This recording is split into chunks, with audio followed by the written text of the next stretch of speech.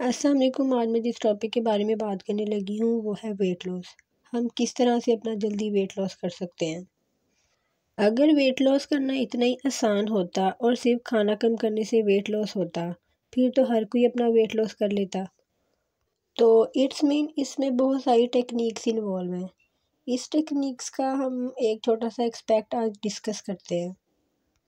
जिसको आप कहते हैं बैलेंस मेटाबॉलिक रेट मेटाबॉलिज्म और वो फ़ूड जिससे आप अपनी बॉडी का मेटाबॉलिज्म स्पीड अप कर सकते हैं।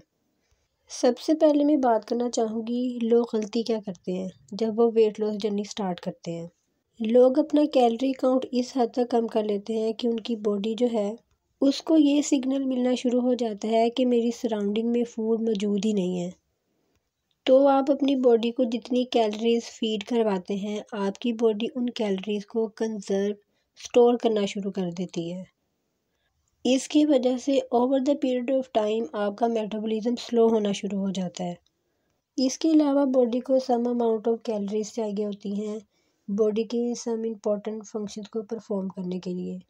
आप अपने आप को उन कैलोरी से भी दूर कर लेते हैं, जिसकी वजह से आपकी बॉडी के जो फ़ंक्शंस हैं वो आहिस्ता आहिस्ता अफेक्ट होना शुरू हो जाते हैं। इसमें जो सबसे ज़्यादा अफेक्ट होता है वो है हमारा ब्रेन मैक्सिमम हमारे ब्रेन को sixteen percent extra energy require होती है। एज़ कंपेयर टू मसल्स और अदर ऑर्गन्स, इसके अलावा जो सिस्टम अफेक्ट होता है वो है हमारा अम्यून सिस्टम। इस वजह से वो लोग जो dieting, chronic dieting, unhealthy dieting के लॉन्ग जर्नी पर रहते हैं, उनको ज़्यादा इन्फेक्शन के चांसेस होते हैं। उनको हेडिक रहता है। अब आपका जो बॉडी का मेटाबॉलिक रेट है आपकी बॉडी की जो मशीनरी है, जिसने आपके खाने को बर्न करना है, जिसको एनर्जी में कन्वर्ट करना है, वो आपके पास अनफॉर्चुनेटली जिन चीज़ों पर डिपेंड करती है, वो ज़्यादातर हमारे कंट्रोल में ही नहीं है। जैसे कि age height genes medical issues इसके अलावा वो लोग जो अपना एक्टिविटी लेवल बहुत कम रखते हैं। वो लोग जो अपना कैलोरी कंटेंट जो है बहुत कम रखते हैं जंक फ़ूड का बहुत ज़्यादा इंटेक करते हैं। वो लोग अपना मेटाबॉलिक रेट बहुत ज़्यादा स्लो कर लेते हैं और अपना वेट लॉस बहुत ज़्यादा डिफ़िकल्ट कर लेते हैं। अगर आप अपने खाने में हेल्दी फ़ूड का इंटेक करें या ख़ास फ़ूड का इस्तेमाल मॉड्रेशन में यूज़ करें तो आप अपने मेटाबॉलिक रेट को फास्ट कर सकते हैं। और वेट लॉस भी कर सकते हैं और वेट को मेंटेन भी कर सकते हैं।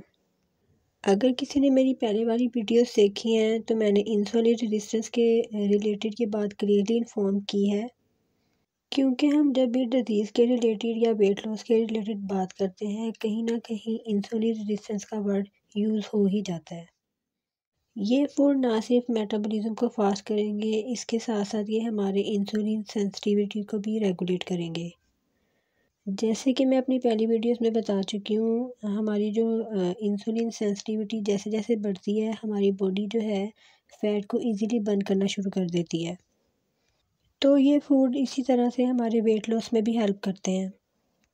एक और चीज़, हमारे पास बॉडी में जितने सेल्स होते हैं बॉडी में इतने ही बैक्टीरियाज होते हैं। Maximum ten to thirteen trillion bacterias are present in our body कुछ हमारे पास बैड बैक्टीरियाज होते हैं और कुछ हमारे पास गुड बैक्टीरियाज होते हैं। जो गुड बैक्टीरियाज होते हैं, वो हमारे पास प्रोबायोटिक्स होते हैं। आपकी बॉडी में जितने ज़्यादा गुड बैक्टीरियाज होंगे, आपकी बॉडी में उतनी ही ज़्यादा स्पीड में फ़ूड एनर्जी में कन्वर्ट होगी। याद रखें फ़ूड की जितनी प्रपोशन एनर्जी में कन्वर्ट होगी उतनी ही प्रपोर्शन बॉडी में स्टोर नहीं होगी, यानी वो फैट में कन्वर्ट नहीं होगी। यानी अगर आप वो फ़ूड लेते हैं जो बॉडी में गुड बैक्टीरिया को ज़्यादा करते हैं, जिनको आप प्रोबायोटिक्स कहते हैं तो आपका मेटाबॉलिज्म फास्ट हो सकता है। वो प्रोबायोटिक्स कौन से होते हैं, इस पर बाद में हम बात करते हैं। पहले मैं आपको ये बता दूँ नेक्स्ट फैक्टर कौन सा है। एक वर्ड होता है थर्मोजेनिक अफेक्ट ऑफ़ फ़ूड यानी जो मैंने खाना लिया है, हर खाने की एक अपनी मखसूस एबिलिटी होती है। मेरी बॉडी ने जो कैलोरी बर्न करनी है, उसकी जो स्पीड है, उसे इंक्रीज़ करने के लिए। अगर हम फैट प्रोटीन और कार्बोहाइड्रेट की बात करें तो प्रोटीन हमारे पास सबसे ज़्यादा तेज़ एबिलिटी रखता है मेटाबॉलिज्म को फास्ट करने में। तो हम यहीं से बात करते हैं। अगर आप अपनी डाइट में प्रोटीन का ज़्यादा से ज़्यादा यूज़ करते हैं तो आपका जो मेटाबॉलिज्म है वो फास्ट हो सकता है as compare to other foods और आप अपनी वेट लॉस जर्नी को इजीली लेकर चल सकते हैं। अब जो प्रोटीन है, वो हमारे पास टू सोर्सेज से आता है। एक हमारे पास एनिमल सोर्स होता है और दूसरा प्लांट सोर्स होता है। एनिमल सोर्सेज को ज़्यादा प्रेफरेंस इस वजह से दी जाती है क्योंकि ये हाई क्वालिटी प्रोटीन होता है। एनिमल सोर्सेज की बात करें तो हमारे पास बीफ, चिकन, मटन, ये रिच सोर्स है हमारे पास प्रोटीन के, जो कि बॉडी का कैलोरी बर्निंग प्रोसेस को स्पीड अप करने में हेल्प करेगा। इसके अलावा the best one is fish fish में आपने सालमन फ़िश को लेना है, क्योंकि जो सालमन फ़िश होती है, ये ना सिर्फ़ हमारे मेटाबॉलिज्म को फास्ट करती है, इसके साथ साथ इसमें ओमेगा थ्री फैटी एसिड होते हैं। और ओमेगा थ्री फैटी एसिड जो है, वो इन्फ्लेमेशन को कम करते हैं शुगर लेवल को कम करते हैं, इसके अलावा ये मेटाबॉलिज्म को फास्ट करते हैं। वो लोग जो वेजिटेरियन हैं, वो हमारे पास प्लांट बेस्ड सोर्सेज में से दालें ले सकते हैं मशरूम ले सकते हैं सोए ले सकते हैं नट्स ले सकते हैं सीड्स ले सकते हैं। नट्स की अगर बात करें तो जो बादाम है, वो हमारे पास बेस्ट ऑप्शन है। बेशक उसमें कैलोरी कंटेंट बहुत ज़्यादा होता है, लेकिन वो हमारे लिए बेस्ट हैं। अगर आप उसे मॉडरेशन में यूज़ करें। यानी नाइन टू ट्वेल्व आप यूज़ कर सकते हैं। आप अपना मेटाबॉलिज्म फास्ट कर सकते हैं। आप अपने वेट लॉस की तरफ़ जा सकते हैं। अब बात करते हैं प्रोबायोटिक्स फ़ूड की। हमारे पास जो कोकम्बर है ऑनियन है कैरेट बनाना स्वीट पोटैटो इसके अलावा जो योगर्ट है वो रिच सोर्स है प्रोबायोटिक्स का। इसके अलावा जो प्रोबायोटिक्स का रिच सोर्स है, वो हमारे पास एप्पल सिरप विनीगर है। एप्पल सिरप विनीगर जो है, ये प्रोबायोटिक्स का बहुत अच्छा सोर्स ही नहीं है, ये बैड कोलेस्ट्रॉल को भी कम करता है। और आपके स्टमक में एसिड की, यानी तजाबियत की एचसीएल की प्रोडक्शन को ज़्यादा करता है। हमारे पास जो प्रोटीन है, वो स्टमक में डाइजेस्ट होना शुरू हो जाता है। उसकी जो डाइजेशन है, उसे फास्ट करने के लिए जो एसिड होता है, उसे एचसीएल कहते हैं। तो आपके स्टमक में जितना एसीएल प्रोड्यूस होगा, जो प्रोटीन है, उतनी ही जल्दी डाइजेस्ट होगा। इसके अलावा जो एप्पल सिरप विनीगर होता है, ये ब्लड शुगर लेवल को भी कम करता है। अगर मैं बात करूँ थर्मोजेनिक इफ़ेक्ट ऑफ़ फ़ूड की तो ये कहना गलत नहीं होगा, जो प्रोटीन है, वो हेल्दी यूज़ है। Maximum fifteen to thirty percent अगर हम लोग प्रोटीन का यूज़ करते हैं तो ये मेटाबॉलिज्म को फास्ट भी कर सकता है, हमारे जो कैलोरी बर्निंग जो स्पीड है, उसे भी इंक्रीज़ कर सकता है। यहाँ पर मैं कॉफ़ी का भी ज़िक्र करूँगी। अगर हम दिन में एक से दो कप कॉफ़ी का यूज़ करते हैं तो ये बहुत अच्छी हमारी हैबिट है।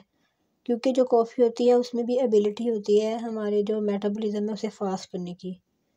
Maximum five to eleven percent fast कर सकती है।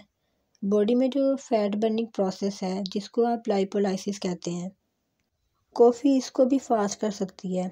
फ्रूट में अगर हम लोग बात करें तो हमारे पास सिट्रिक फ्रूट जो है, बहुत अच्छी ऑप्शन है। जैसे कि हमारे पास एप्पल है गावा स्ट्रॉबेरीज बेरीज पाइन ये बहुत अच्छी ऑप्शन है। इसके अलावा जो ये सारे फ्रूट्स हैं, ये रिच होते हैं वाइटामिन सी में। वाइटामिन सी जो होता है, हमारे पास जो लीवर है, उसमें फ़ैट की जो ब्रेकडाउन है, उसे फास्ट करते हैं एक प्रोसेस के थ्रू जिसे आप बीटा ऑक्सीडेशन कहते हैं। इसके अलावा आपने अपनी डाइट में फ़ाइबर का इंटेक ज़्यादा रखना है। आपने हर उस फ़ूड को प्रेफरेंस देनी है, जो रिच होता है फ़ाइबर में। क्योंकि ये जो फाइबर वाले फ़ूड होते हैं, ये ब्लड शुगर लेवल को एकदम से ऊपर नहीं होने देते और आपको फीलिंग ऑफ़ फुलनेस भी देते हैं। फाइबर में आप होल ग्रेन्स का यूज़ कर सकते हैं ओट मील का यूज़ कर सकते हैं, फ्रूट्स में आप ग्रेप फ्रूट का यूज़ कर सकते हैं। क्योंकि ग्रेप फ्रूट में आपके पास फिफ्टी एट परसेंट एक ग्रेप फ्रूट में वाइटामिन सी होता है। इसके अलावा जो ग्रेप फ्रूट होता है, ये इंसुलिन को भी नीचे लेकर आता है। इसके अलावा जो ग्रेप फ्रूट होता है, वो बैड कोलेस्ट्रॉल को भी कम करता है। फ्रूट्स में बात करें तो जो वाटरमेलन होता है, वो भी बहुत अच्छी ऑप्शन है। वाटरमेलन जो होता है, उसके पास वाटर कंटेंट भी बहुत ज़्यादा होता है, उसमें इलेक्ट्रोलाइट्स भी बहुत ज़्यादा होते हैं। इसके अलावा वाटरमेलन के अंदर एक अमाइनो एसिड्स होता है, जिसको आप आर्जिनिन कहते हैं। जो आर्जिनिन होता है, ये भी हमारे पास जो मेटाबॉलिज्म है, उसे फास्ट करने में हेल्प करता है। इसके अलावा जिंजर जिंजर आपके पास बहुत फ़ेमस है इन्फ्लेमेशन को कम करने में। आपका जो डाइजेस्टिव सिस्टम है, उसे एक्टिव करने में। और अगर आप चाहते हैं आपका स्टमक फ्लैट रहे तो आप जिंजर का यूज़ ग्रीन टी में यूज़ कर सकते हैं। क्योंकि ग्रीन टी में एक सब्सटेंट होता है, जिसे आप एपिगोला कैटिजन कहते हैं।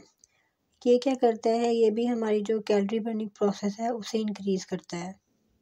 इसके अलावा आप स्पाइसेस का यूज़ कर सकते हैं। अगर आप स्मार्टली स्पाइसेस का यूज़ करते हैं तो मैक्सिमम थाउज़ेंड परसेंट कैलोरीज जो है, वो बर्न कर सकते हैं। जिसमें आपके पास दालचीनी आ जाती है, धनिया पाउडर आ जाता है, हल्दी पाउडर आ जाता है, काली मिर्च आ जाती है, लाल मिर्च आ जाती है। लाल मिर्च में एक सब्सटेंस होता है जिसे हम कहते हैं कैप्सिकन ये आपके पास हंगर को कम करता है। आपके मेटाबॉलिज्म को फास्ट करता है। यहाँ पर मैं थोड़ा सा क्लियर कर दूँ। अगर आप स्पाइसेस का ओवर इनटेक करते हैं तो ये आपको, आपके जो स्टमक है, उसकी लाइनिंग को अफेक्ट कर सकता है। इसके अलावा आप अपनी बॉडी को हाइड्रेट रखें, ज़्यादा से ज़्यादा वाटर का इंटेक करें। वेजिटेबल्स में बात करें तो आप पालक जो है, वो बहुत अच्छी ऑप्शन है।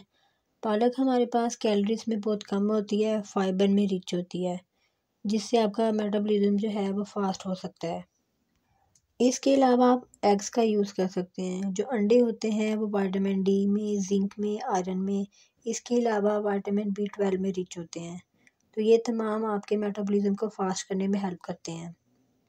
तो जी, ये थी मेरी आज की वीडियो आई होप सो ये आपको हेल्प करेगी. तो मिलते हैं नेक्स्ट वीडियो में. तब तक के लिए अल्लाह हाफिज़.